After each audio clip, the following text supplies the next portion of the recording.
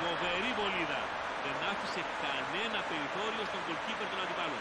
Πέτυχε την μπάλα ιδανικά με το κουντεπιέ και γι' αυτό βρήκε τόσο ισχυρό το σου. Εκεί ο Πορτιέρο δεν μπορεί να κάνει τίποτα πια.